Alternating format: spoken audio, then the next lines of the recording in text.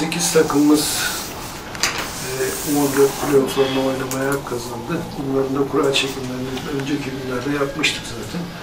A ve B grubu şeklinde iki gruba ayrıldılar.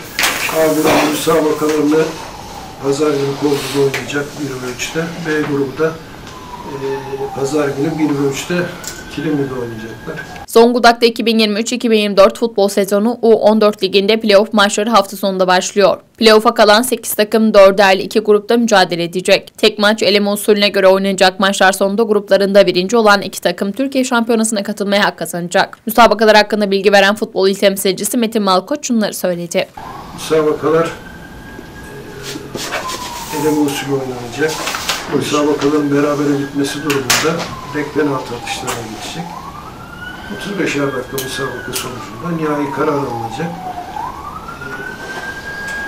E, Galip gelen takımlar gruplarında A ve B gruplarında galip gelenler takımlar grup finali oynayacaklar.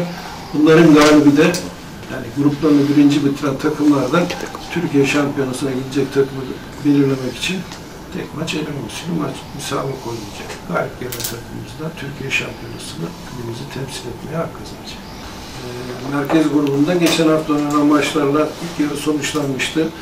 Takımların sayısının kalabalık olması ve diğer grup, e, bölgelerde de müsabakaları aynı oranda bitirebilmemiz için maalesef e, merkez grubuna ara veremedik ve ikinci yarıya direkt olarak devam edeceğiz.